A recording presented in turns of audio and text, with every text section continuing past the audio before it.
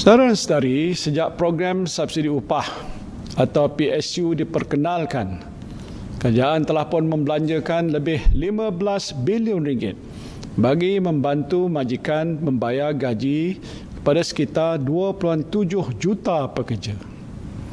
Memandangkan respon positif berhubung program ini, kerajaan bersetuju untuk melaksanakan PSU 4.0 dengan peruntukan sebanyak 3.8 bilion ringgit yang dijangka memanfaatkan lebih 2.5 juta pekerja.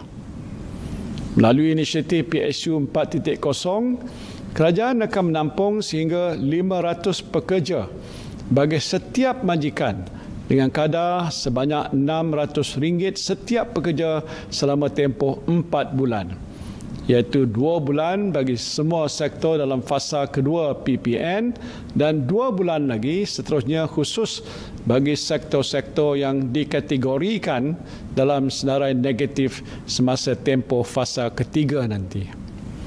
Jika sebelum ini pelaksanaan PSU disyaratkan dengan had gaji di bawah RM4,000, Sukacita saya umumkan bahawa di bawah PSU 4.0 tiada lagi syarat had gaji ditetapkan. Ini bermakna majikan boleh memohon PSU 4.0 bagi pekerjanya yang bergaji lebih RM4,000.